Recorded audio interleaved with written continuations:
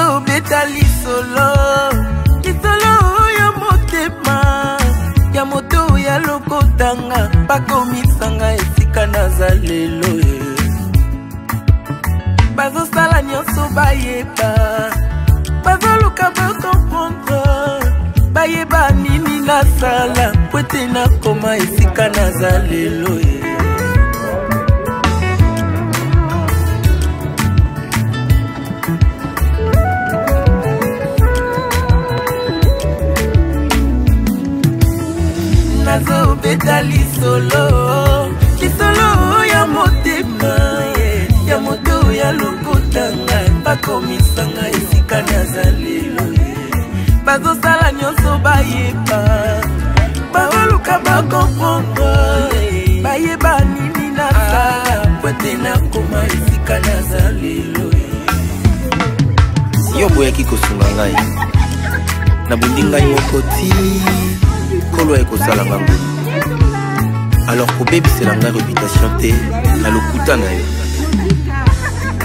comme une massue une épée et une flèche aiguë. Ainsi est un homme qui porte un faux témoignage contre son bouche.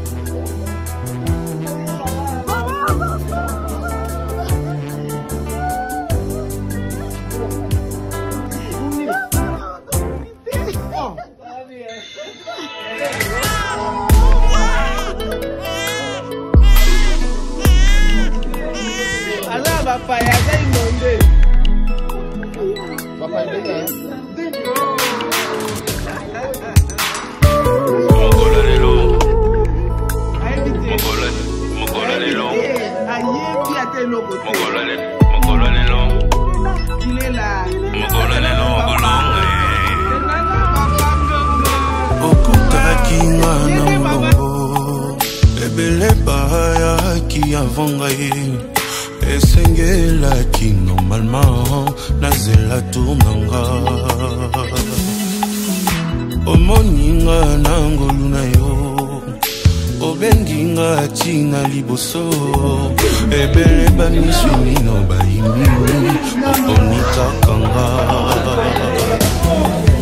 na mati lokola bongo likolo nyonso na nzela basusu bazelakala ye basepeli epesamelaka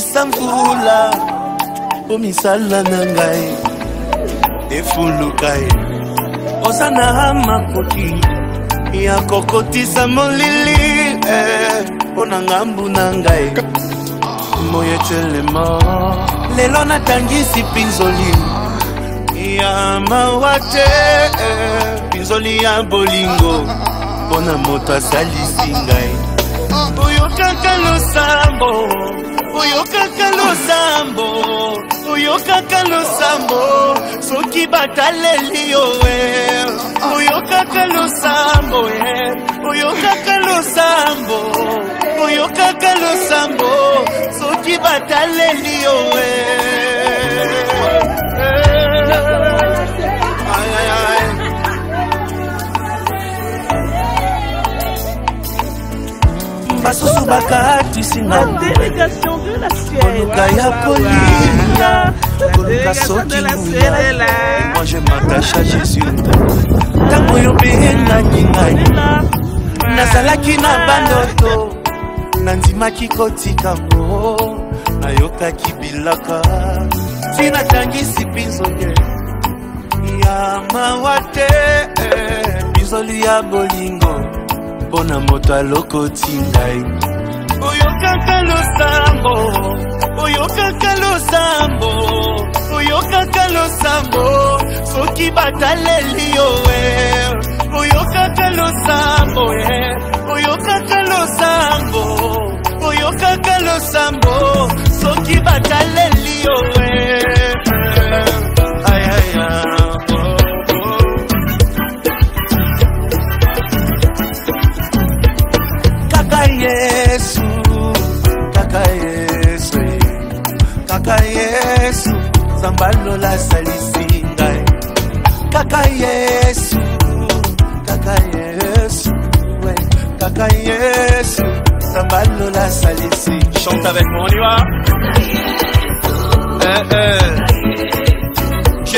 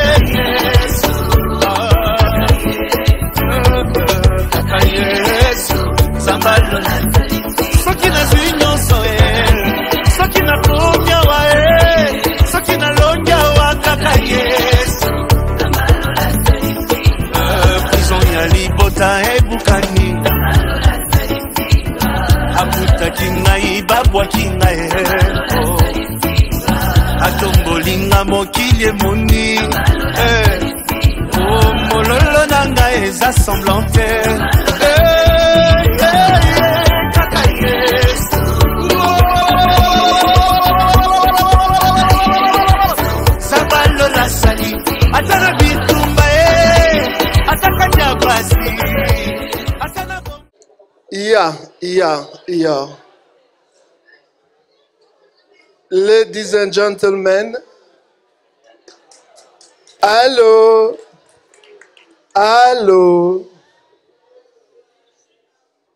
Mitt navn er eh, Jean-Claude fra Oslo. Jeg vil eh, takke alle sammen. Dere er eh, velkomne. Når vi treffes som ofte, flerspråklig, det reiser stort sett spørsmål om språk. Hvilket språk skal vi bruke? Vi skal bruke norsk, fransk og engelsk. Grunnen er at eh, mor til, eller svigermor til eh, Alexi og svigerfar ikke kan snakke norsk eller engelsk. Så da må vi bruke fransk også i tillegg. Vi nordmenn vi pleier å si den beste tiden, det er den tida du deler med de andre. Og det er ingen unntak i dag. At Wessel sa at kjærlighet ikke er hat. At smørbrød var ikke mat. Det var det han visste om eh, smørbrød og kjærlighet. I dag skal vi smake litt på afrikansk eh, mat. For mange som ikke har kost seg med det, så de kommer til å oppleve en annen eh, smak.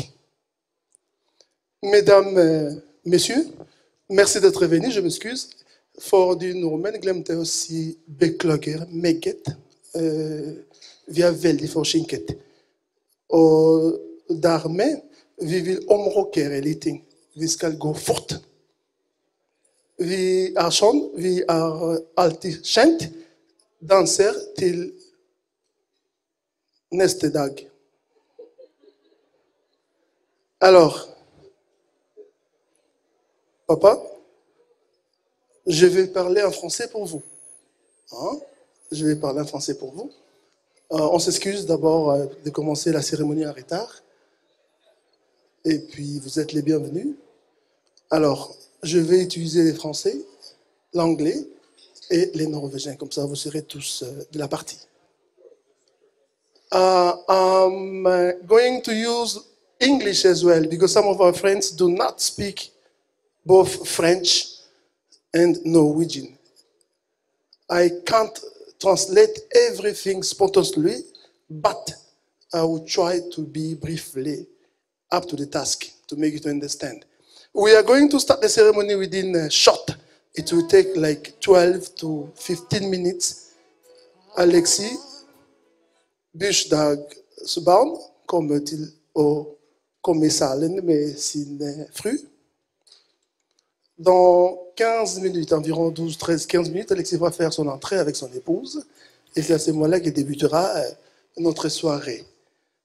Et on va aller vite en besoin, puisqu'on n'a plus le temps. On est presque en retard, disons, de, de, de 30, 35 minutes environ. J'exagère un peu. Donc on attend Alexis, nos excuses. DJ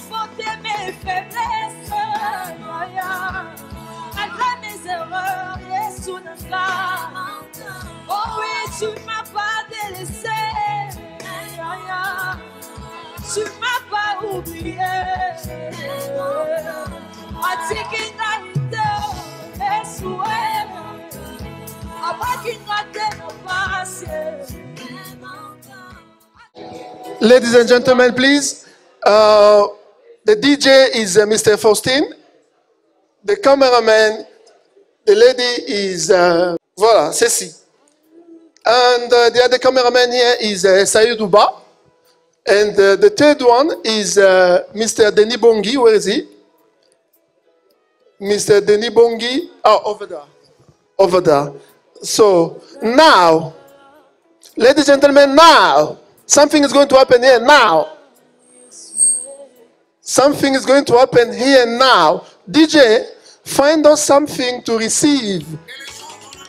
Find us something pleasant to receive. Mr. and then Mrs. Mungo. Please, ladies and gentlemen, I would like you to stand up.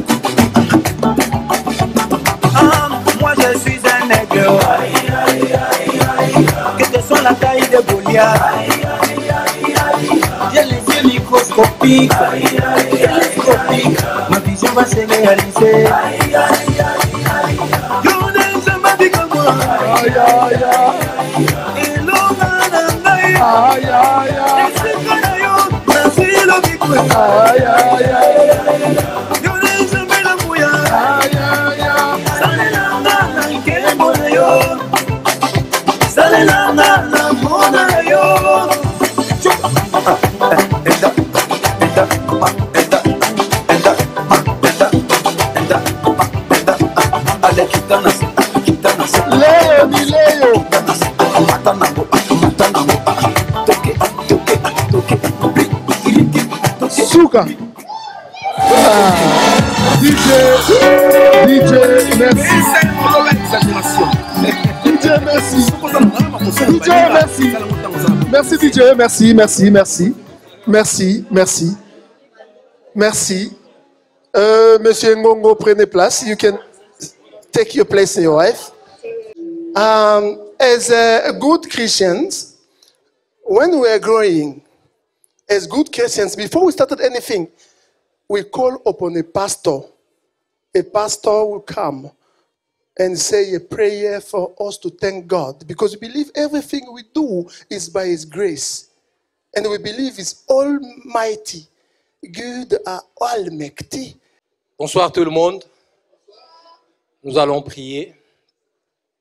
Père, nous bénissons ton nom, nous t'élevons encore et nous te glorifions.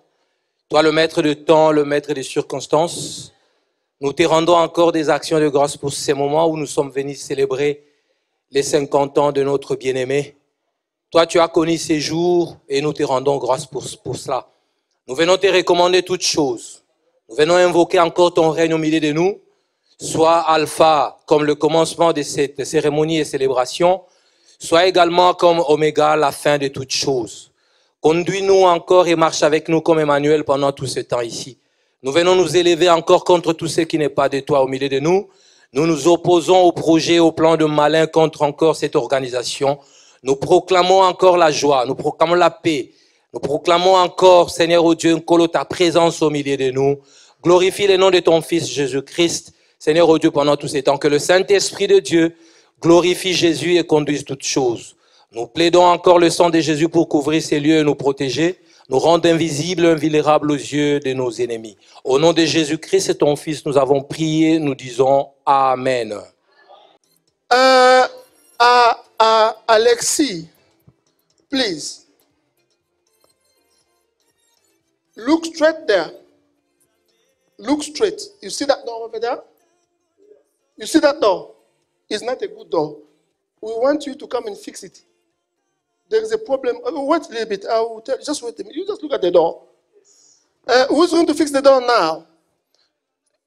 There is uh, something that's going to happen through that door now. Ah, the son has entered. The son has entered. He is dressed like me. Ladies and gentlemen, today, now, Ladies and gentlemen, today and now, today and now, the elder brother to Mr. Alexei that came straight away. He did not know that the brother was coming. Ladies and gentlemen, I present to you Jean-Pierre Nongo. Jean-Pierre Ngongo, the younger brother, did not know. Jean-Pierre Ngongo. Ah. Jean-Pierre Ngongo. Welcome. Welcome till Oslo.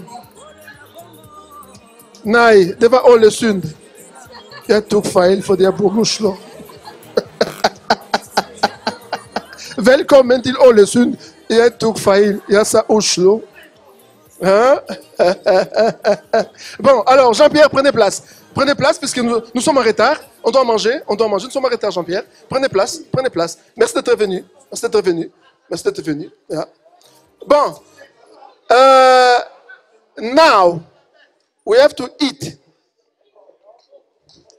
We have to eat now. We don't have time. We have to eat now. So, what's going to happen now is that Alexei and then the people in the high table, they will go and serve themselves first.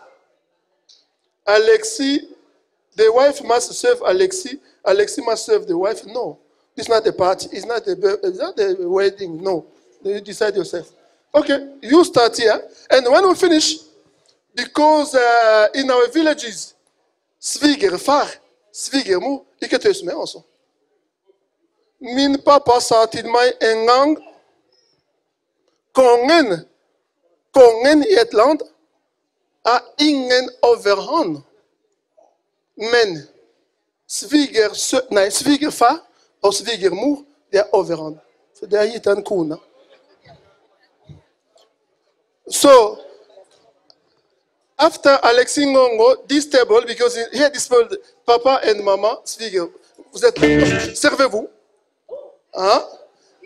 Et il y a des réseaux for chance, non, servir des bien évidemment, et Vous allez vous servir après. On commence par la table, là, haute table, la table d'honneur, et là, et vous, et nous commençons comme ça.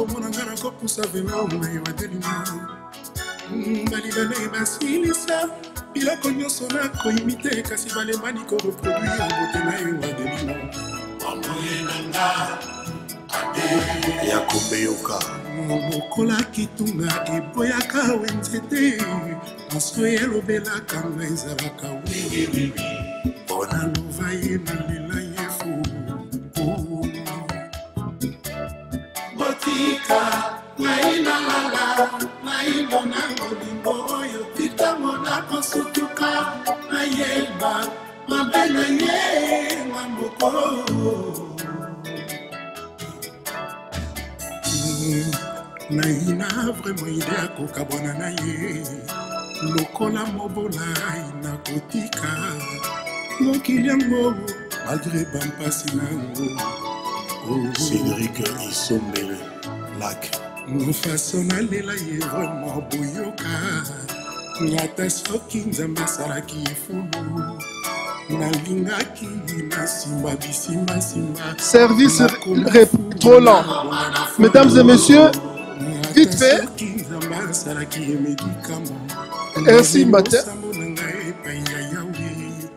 akomisa ngai seko moto ya bokono mpo na melade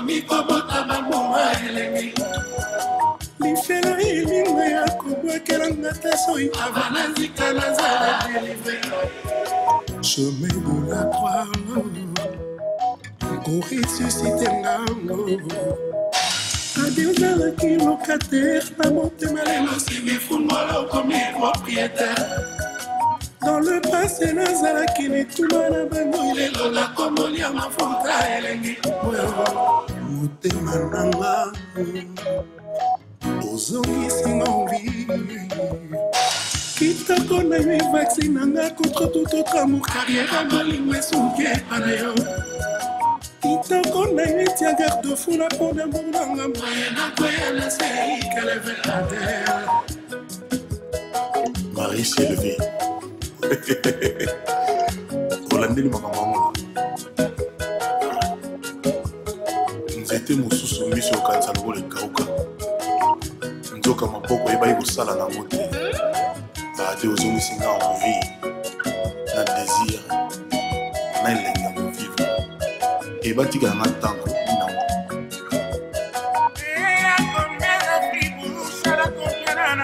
Ibrahim Eshak Ojake Luminu Amina Mboyi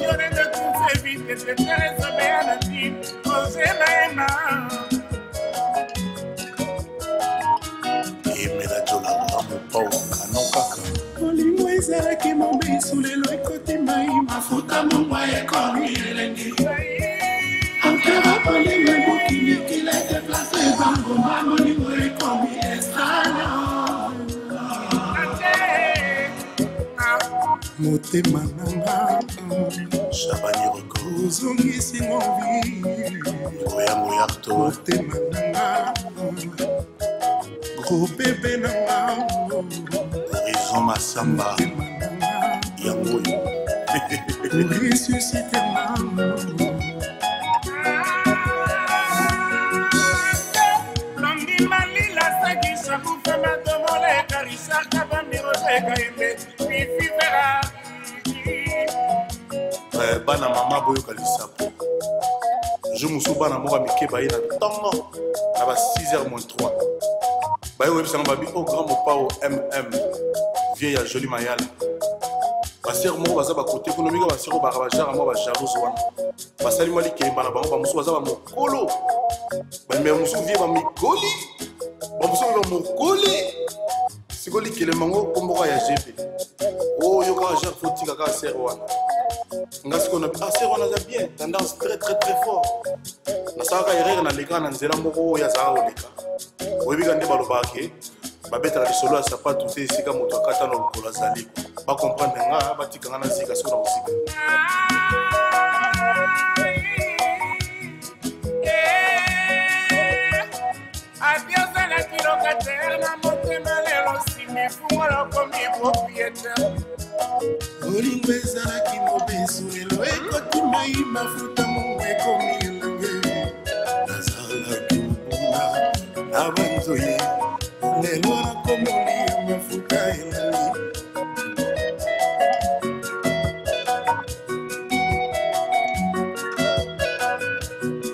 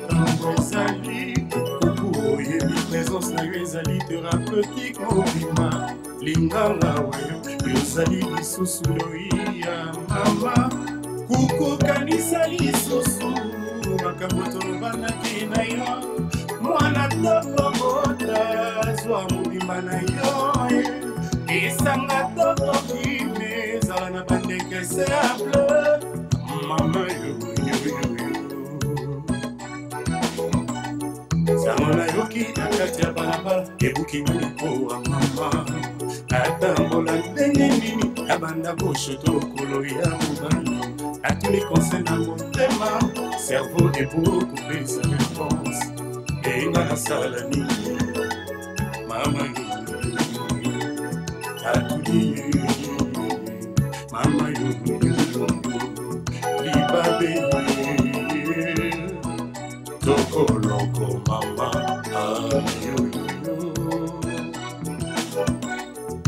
bino bato bozanga na bino problème oyo koyanga kukuko bazanga na foto te mpo na sina change nakoma nzotu ya mama